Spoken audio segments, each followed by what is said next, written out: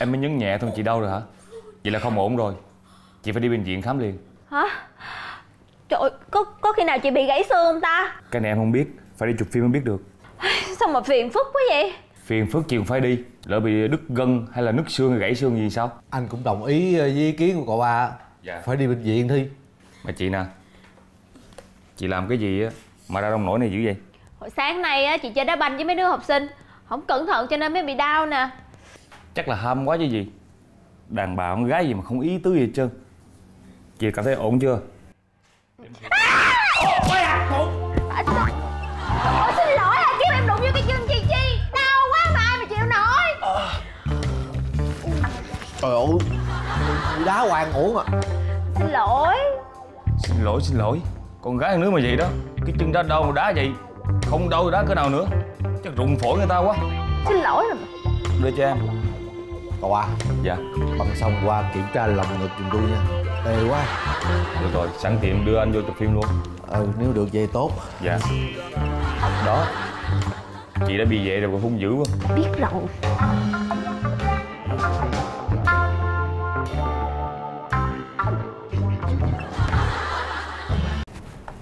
Ông ơi, ông nhấc cái chân lên cho con lao nha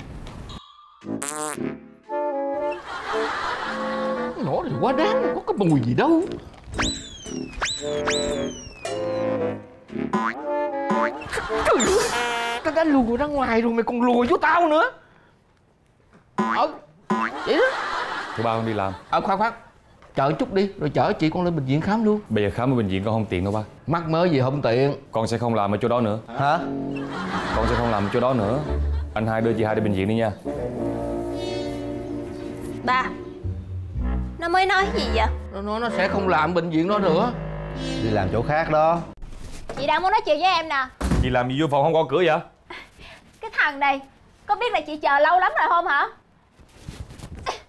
Tại sao xin nghỉ làm mà không nói cho chị nghe hả? Thì em xin nghỉ Thì em xin nghỉ thôi. Ờ, nè Cái thằng này. Chi Em đang nói chuyện với chị hai em đó. Tại sao lại nghỉ làm hả? Trời chị ơi mình xin nghỉ Mình thích làm nữa. Mình kiếm chỗ khác mình làm Đi làm mà thích thì nghỉ. Em hay quá ha. Em có biết là cái chỗ đó khó xin vô lắm không? Trưởng khoa người ta thích em nữa. Nghỉ làm xong rồi làm ở đâu chứ? Em lớn rồi em biết tự lo cho bản thân mình. Buông ra. Không muốn Em nghẹt thở quá nè. Không muốn Bây giờ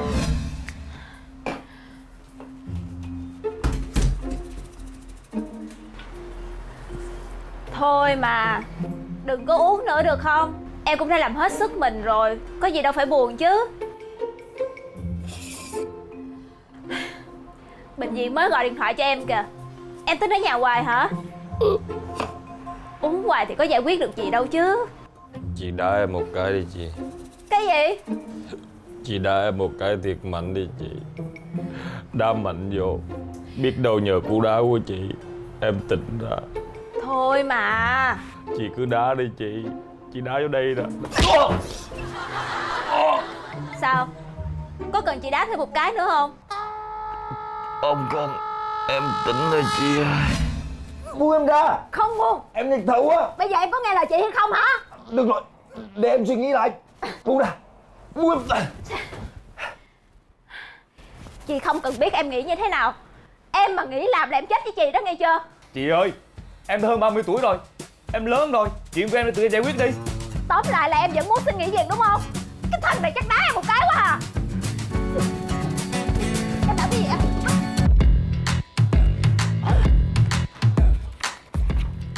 Chị mới tới đó. Chị tôi mới tới hả? Gặp ai vậy? Như là tôi gặp bác sĩ Khang.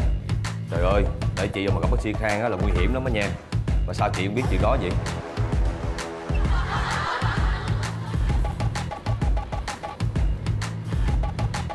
Nãy giờ mình nói chuyện với ai vậy trời?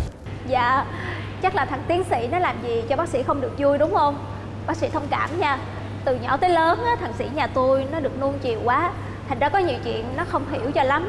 Mong bác sĩ thông cảm cho. Chị đến đây đòi gặp tôi cho bằng được. Chị đến nói chuyện này thôi sao?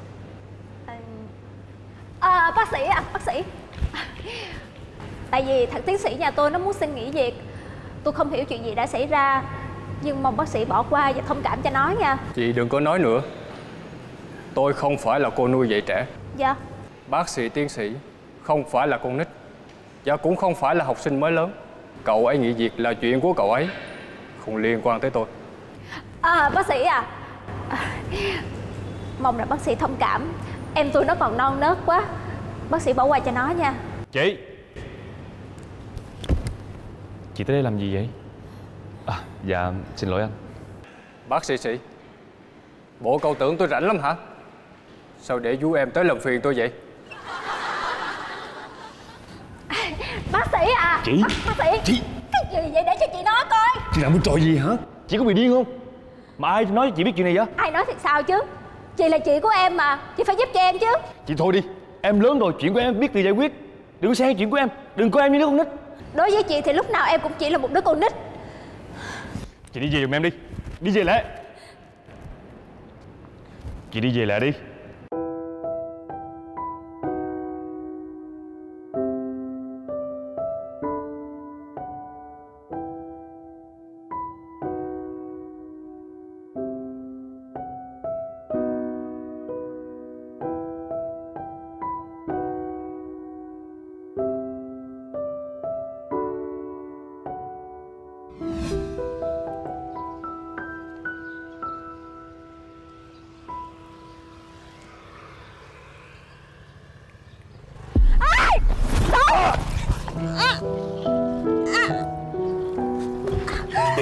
Sao vậy Cái thằng này Em sao vậy hả? Dặn bao nhiêu lần rồi Đi băng qua đường mà cứ đọc sách hoài lỡ gây tai nạn rồi làm sao? Chứ chị có sao không vậy À À.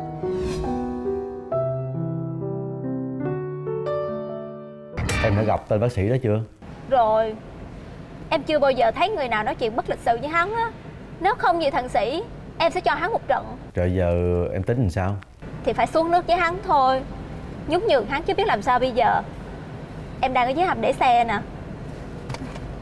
Em đợi hắn ra để đưa cho hắn món quà. Em không dám đưa trong bệnh viện. Mất công hắn thấy kỳ lắm. Vậy em có cần anh tới ờ, phụ em không? Thôi không cần đâu. Ê hắn ra rồi kìa. Em cúp máy nha. Khang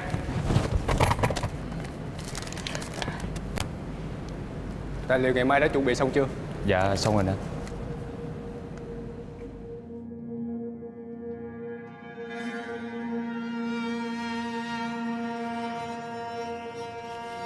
gọi như vậy mà là xong hả? Chiều nay phải làm xong cho tôi. Dạ. Biết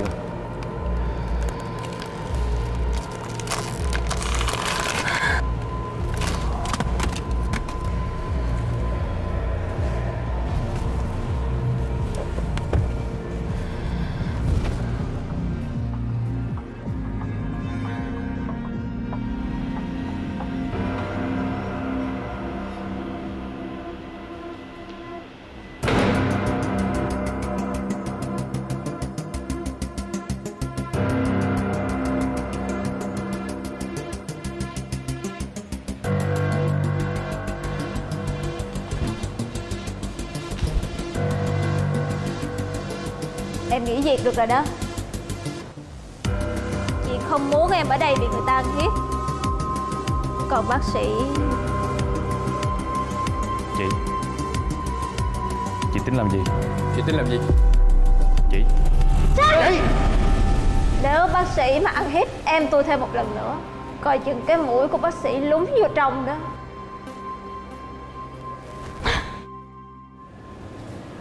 Đi về với chị. Dạ Em còn nhiều việc phải làm. Chị nhớ kiếm cái gì ăn đó. Dạ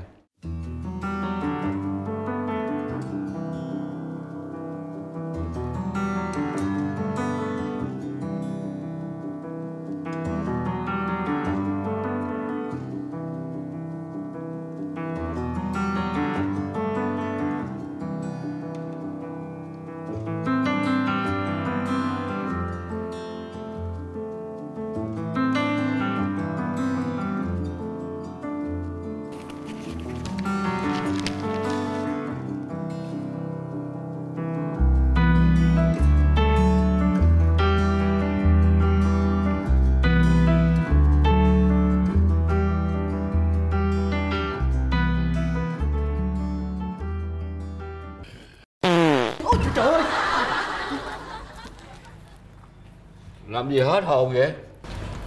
Dạ con tưởng bình ga nổ. Chào ông. Cô là ai? Dạ con là Diễm My. À, Là gia sư của trạng Nguyên á ông. Gia sư mới hả? Dạ. Còn trẻ gì mà đi làm gia sư hả? Dạ. Nay nhiêu tuổi? Dạ năm nay con Con cũng không biết con nhiêu tuổi nữa. Dạ con giỡn á Năm nay con 23 tuổi rồi ông thế à? Dạ. Ừ. Con xin phép lên lầu nha ông. Ừ. Dạ. Làm cái gì mà hốt quản ừ?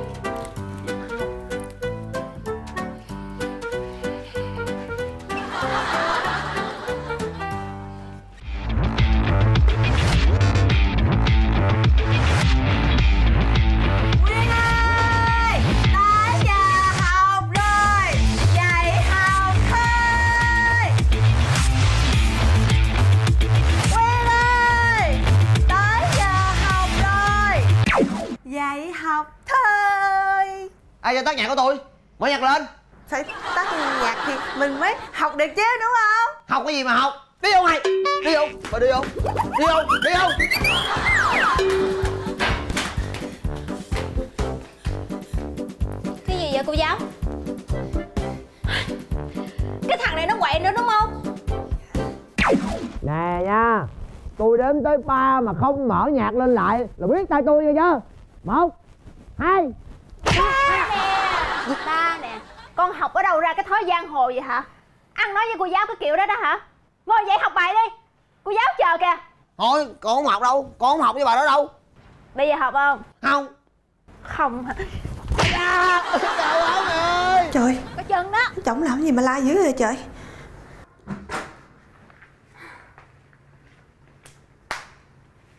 Xong rồi đó cô giáo. Vô dậy đi.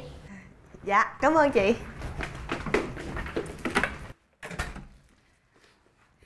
Nguyên ơi cô đã trở lại với em rồi nè. Đi ra ngoài. Gì nữa đó thằng kia Cô giáo dạy tiếp đi Dạ. Chị ơi. Hả? Chị ở lại đây luôn được không chị?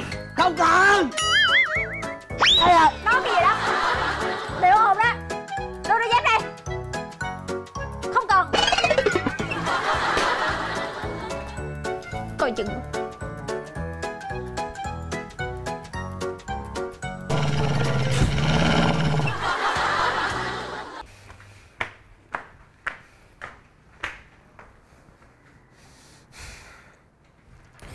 Mạnh mẽ lên.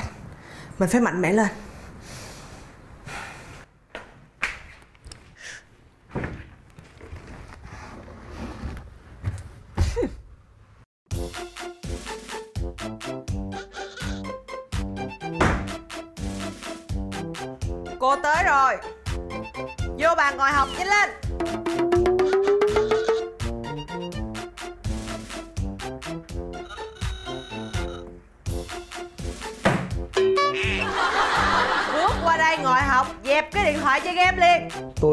Là cái thể loại có lỗ tai mà nghĩ không?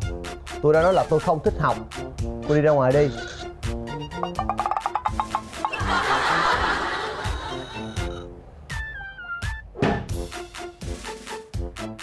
Bước qua đây học.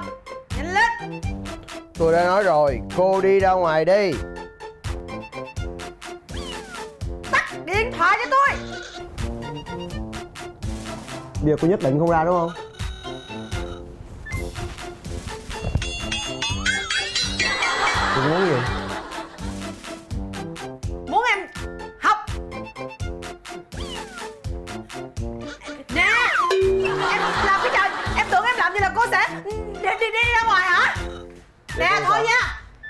cô sao? Nè thôi nha Em mặc áo vô. Con sao? Con sao? Em đừng có nghĩ là em làm gì là cô sẽ đi về nha. Mặc áo vô cho cô nhanh lên. Ra đây chi à ờ con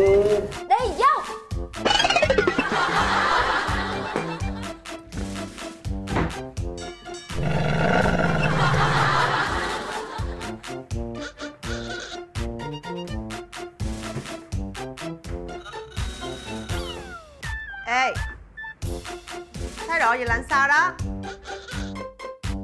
Hay quá thấy mình mạnh mẽ cho nên nó sợ rồi nè.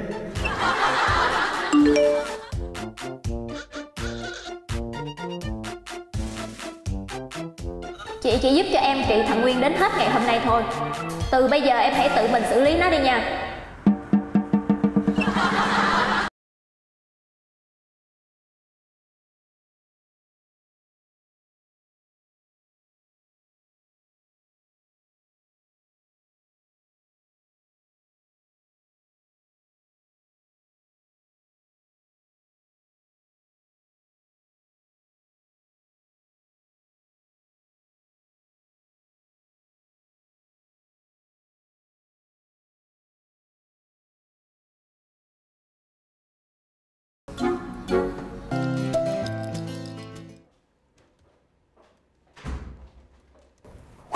Đồ của em đó Trời chị ơi Chị nhờ shipper giao tới được rồi Chị tới anh chi Nè Em có nhớ là hôm nay em phải đi gặp ai không vậy?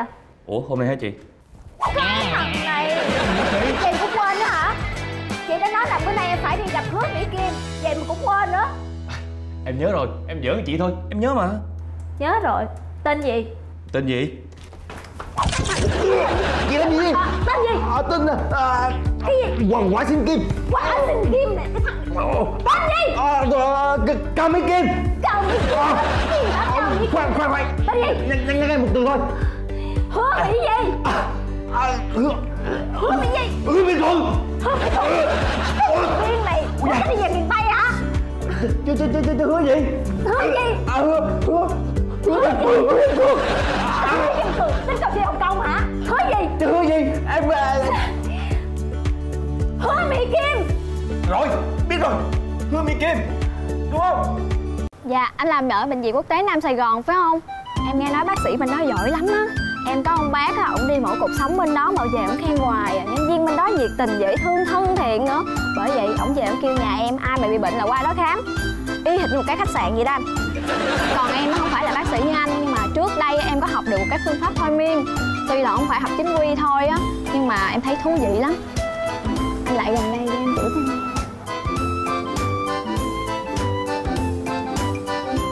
Bây giờ á, anh nhìn vào lòng bàn tay của em nha. Anh tập trung vào lòng bàn tay của em thôi Và đếm theo em nha.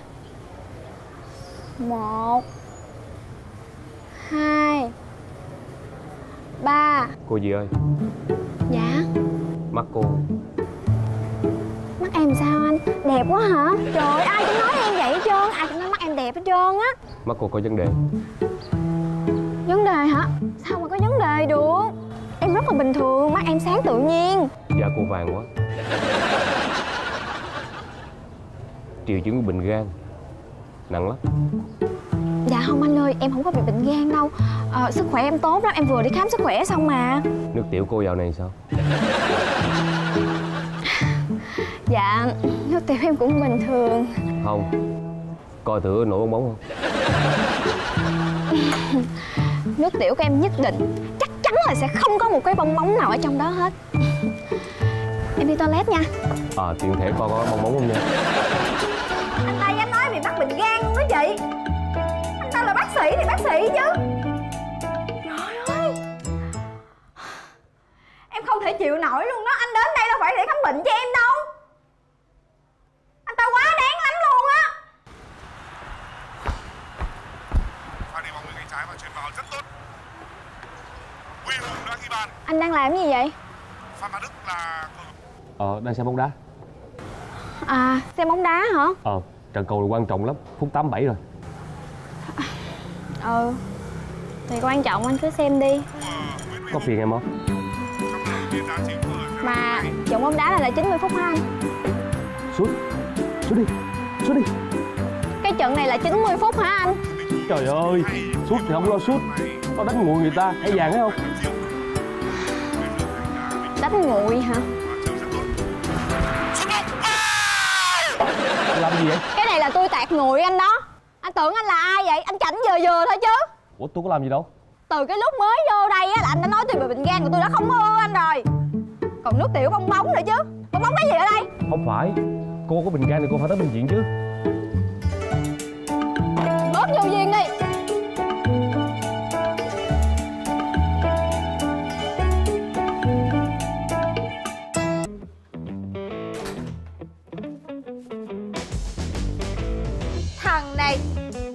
giờ là mấy giờ rồi mà còn ngủ nước vậy hả? Vậy à, sao mẹ cứ đá con như vậy hoài vậy? Lỡ con bị thương thì sao? Dậy mau lên. Nghe chưa? Cô đã dặn em biết bao nhiêu là lần rồi không được để tóc dài trong trường rồi mà. Vậy bà sao mà em à, vậy hả? à, sao đau quá vậy? Đau hả? Đau thì phải nhớ chứ. À, à giờ nhớ chưa? Dạ dạ em nhớ rồi. Nói là phải làm nghe chưa? Dạ dạ. Cái thằng này có nhiều đó mà cũng quên nữa hả à nè hình như cô nhớ em học chung với lớp trạng nguyên đúng không? Dạ đúng rồi ạ. Tốt quá. Em giúp giùm cô đem bộ đồ này lên cho nguyên đi. À nhưng hồi nãy như em thấy bạn Nguyên đi vào phòng y tế đó cô Mà không biết bạn Nguyên bị gì nữa. Cái gì? Ủa sáng nay nó còn khỏe lắm mà. Sao lại xuống phòng y tế? Em cũng không biết nữa thôi được rồi cô cảm ơn em nha. Đưa lại cho cô đi. Dạ em chào cô.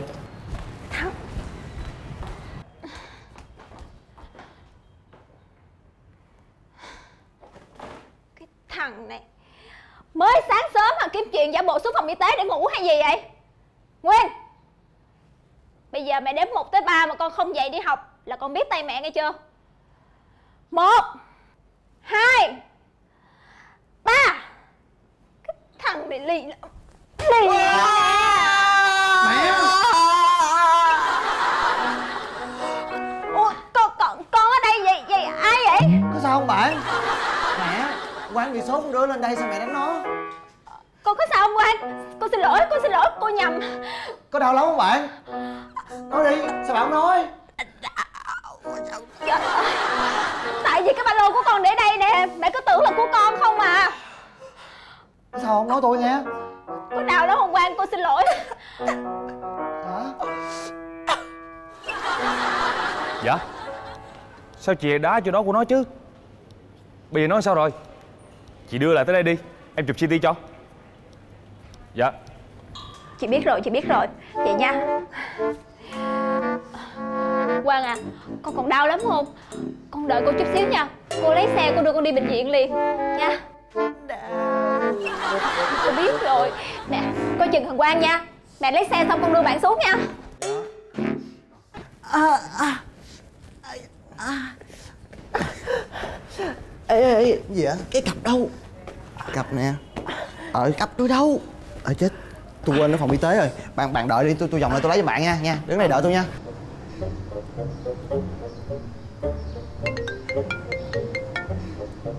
Dạ nghe ba Ây da, giờ con đang đau quá Con đang đi tới bệnh viện Thôi nha ba Nè em kia Cô đã dặn biết bao nhiêu lần rồi Không được sử dụng điện thoại trong trường rồi mà Hử?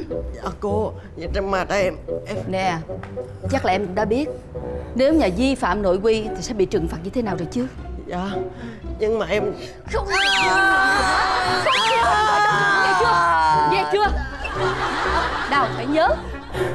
Còn nữa Dạo này gần đây Nghe nói là em bận rộn theo đuổi chị My Cho nên học hành đã bị giảm sút trầm trọng Có đúng như vậy không? Dạ. Có. Em em Sao mà em không tỉnh ra hả? Em đau quá cô ơi. Còn cái nữa hả? Cô giúp em nha Không được Ra nghe chưa? Là mà em làm như vậy hả? Đào phải nghe lời đi giờ nữa. Em sao vậy Nè. Ê, vì phía sau cơn mưa cầu sẽ tới. Ngày tháng trôi đi nhanh muộn phiền ta sẽ rồi vơi.